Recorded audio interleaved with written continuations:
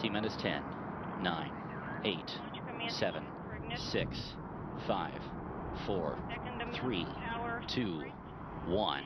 Turbo pumps at flight speed. Lift off.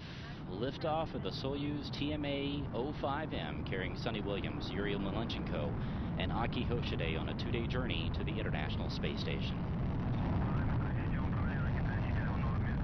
All of their launcher parameters are nominal.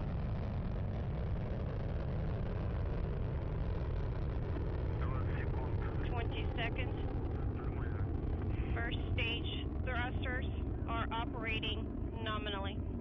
Copy all launch control, and we are fine. 30 seconds into the flight. Launcher parameters are not. The team is reporting good first stage performance. The Soyuz delivering 102 tons of thrust from its four boosters and single engine. The first stage of the Soyuz measures 68 feet in length and 24 feet in diameter. It is currently burning liquid fuel for the first two minutes and six seconds of the flight. The uh, engine chamber pressures are nominal. One minute into the flight, the teams are reporting that the chamber pressures inside the engines are all nominal. You see Yuri Malenchenko there on the left, Suni Williams there on the right. That uh, toy that is hanging there was given to him by his daughter. 70 seconds into That the serves flight. as the flight's talisman. That will be the first sign that the crew has reached orbit right at the nine minute